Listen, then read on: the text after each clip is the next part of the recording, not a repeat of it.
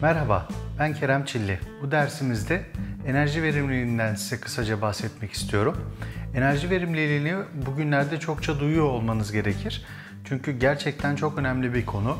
Enerjimizin büyük bir kısmını kendimiz üretmemize rağmen enerjiyle alakalı ihtiyaçlar bugün ve gelecekte de çokça olacaktır. O yüzden var olan enerjiyi en verimli şekilde kullanmak bizim için ve ülkemiz için en doğru yol olacaktır. Ne demek enerji verimliliği?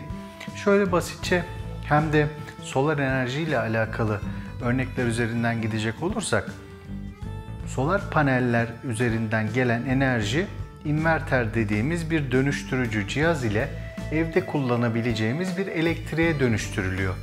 İşte bu dönüşüm esnasında ne kadar verimli bir şekilde bu dönüşüm gerçekleştiği bizim için çok önemli. Ne demek bu? Bir birim girişte aynı şekilde bir birim çıkış alabiliyorsanız eğer o zaman %100 verimli bir dönüştürücü elde etmiş olursunuz demektir. Teorik olarak tabii ki. Çünkü panel tarafından giriş yapıldığı zaman o inverter dönüştüreceği zaman içerisinde kendi ihtiyaçları sonuçta bu dönüşüm için gerekli olan bir enerji de söz konusu. Bu enerjiyi harcadığında çıkışına panel gücünün ne kadarını verebiliyor konusu bizim için önemli.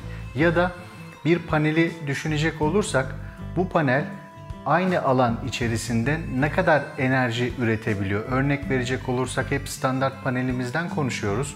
1.65 metrekare gibi bir alanda kaç watt üretebiliyor? Onun direkt olarak verimini bize söyleyen bir değer aslında. Verim metrekaredeki enerji üretimiyle direkt alakalı bir konu. Bu sebepten arkamda görmüş olduğunuz iki tane panel aslında bakıldığında fiziki olarak birbirine çok yakın e, ölçülerde. Ancak sol tarafımda görmüş olduğunuz monokristal panel yaklaşık 275 watt pik gibi bir değer üretiyor. Sağ tarafımdaki panel ise yaklaşık 330 watt pik gibi bir değer üretiyor. Bu noktada sağımdaki ürün çok daha verimli olduğunu söyleyebiliriz. Tabii ki bu verim konusu bakıldığında birçok parametreden oluşuyor ama biz genelde hep maddi boyutuna bakıyoruz.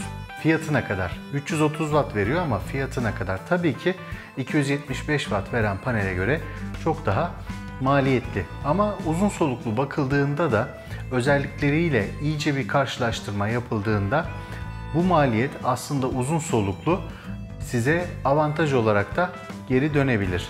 Bunu iyi araştırmak gerekir. 275 wattlık bir ürün mü almamız gerekiyor yoksa 330 wattlık bir panel tercih etmek bizim için mi daha doğrudur? Bunu çok iyi değerlendirmek gerekir.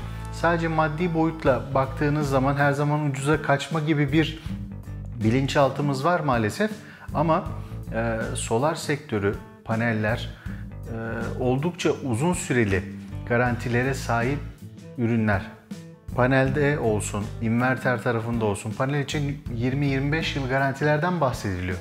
Inverterde keza 5 yıl garantilerden bahsediliyor ki bunu 10-15 yıl hatta 20 yıla kadar uzatan firmalar dahi bulabilirsiniz. Bu noktada verim konusu bizim için oldukça önemli. Bunu panel ve inverter dışında tuttuğumuzda enerji verimliliği ile alakalı birçok elektrik dağıtım firması birçok e, videolar yayınlıyorlar. Bence oldukça da e, avantajlı. Örneğin e, lambaları işte gereksizse söndür diyorlar ya da çamaşır makinenizi ya da bulaşık makinenizi tam dolu olduktan sonra çalıştırın. Sadece birkaç parça eşya için çalıştırmayın gibi ya da elektronik cihazlarınızı standby konumu dediğimiz uyku modunda açık konumda bırakmamanızı, fişten tamamen çekmenizi ya da mekanik bir anahtarı varsa tamamen kapatılması gibi e, pratik güzel öneriler sunuyorlar. Enerji verimliliği gerçek manada çok önemli. Hem ülkemiz için hem kendi cebimiz, evimiz için oldukça önemli bir konu. Solar sektöründe de enerji verimliliği eskiden bu yana kesinlikle en önemli konulardan bir tanesi. Bu neden nedir ki farklı panellerle ilgili başlığımızda bunu anlatacağım ama kısaca değinmek istiyorum enerji verimliliği ön plana çıktıktan sonra hücre teknolojilerinde farklı tip e, ürünler, farklı tip malzemeler kullanılmaya başlandı ki daha verimli, daha küçük alanda daha fazla güçler üretebilelim diye. Bu nokta bizim için çok önemli olduğunu söylemiştim. Verimlilik bu işin kalbi. İnverter tarafında da aynı şekilde eskiden baktığınız zaman trafolu inverterlerden bahsedebiliriz. İnverter konusunda detaylıca anlatacağım. Trafolu inverterler daha düşük verimli olmalarından dolayı günümüz şartlarında bakıldığında trafosuz inverter teknolojilerinin yani inverter dönüştürücü cihazın içindeki yapıdan bahsediyorum. O yapının trafosuz olması e, yöntemiyle artık tasarımlar yapılıyor ki daha fazla verimli bir dönüştürme işlemi e, gerçekleştirebilelim. Hatırladığınız gibi e, bu dönüşüm bizim için olmazsa olmaz bir konuydu. Neden? Panellerimizdeki üretilen güç e, doğru akım dediğimiz artı eksisi olan evdeki pilleriniz gibi düşünün ama pillerle evinizdeki televizyonu çalıştıramıyorsunuz. Bu yüzden arada bir dönüştürücü olması gerektiğini söylemiştik. Tekrar hatırlatmakta fayda var. Verim konusu bizim için çok önemli. Olabildiğince verimli ürünler tercih etmek çok önemli. Tabii ki bu noktada birazcık da fiyat odaklı bakılması maalesef ki bir gerçek. Bu bir tercih, saygı duymak gerekir.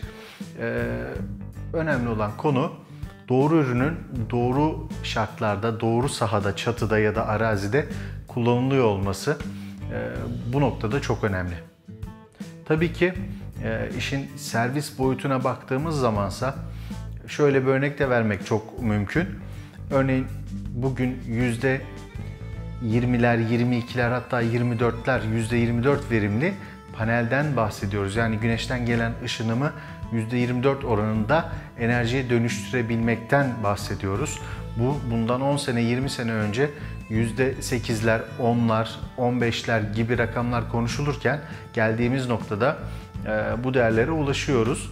Ayrıca laboratuvar ortamında yapılan e, verimle ilgili çalışmalarda ise farklı farklı materyaller, farklı elementler kullanılarak bu verim değeri yaklaşık %40'lara 50'lere neredeyse dayanmış durumda.